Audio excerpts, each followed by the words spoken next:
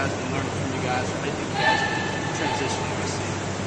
Uh, the young guys been picking it up pretty well, actually. Uh, when I first came in as a young guy, you know, I struggled with the offense, and older guys always helping me.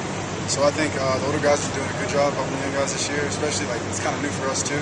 So you know, plays, signals, everything, formations, and all that, and uh, picking up pretty well. You know, uh, Kyle's been doing a good job at fullback. Uh, Casey Pearson, a couple of guys, have been doing well whenever they need to.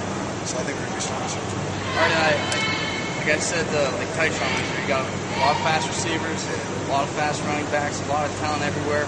What about the tight ends? Are you guys gonna be, you know, think taking more linebackers on, or think taking more touchdowns on? Uh, I'd say equally both, honestly. Uh, we do a lot of mixing up, a lot of route running, a lot more than we did last year. And we do a lot of ISO blocking, kick out blocking, a lot more than we did last year. So uh, I think it'll be the best of both worlds, honestly. You said said last year, you know, it didn't, run as many routes. I think Coach Hazell's new offense, and his new system he's brought in, is going to allow you guys to get more action on the field? Then? Oh, definitely, for sure.